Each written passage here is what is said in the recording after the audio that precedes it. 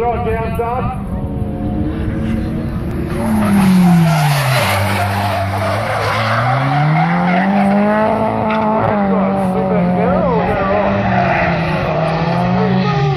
Thank you.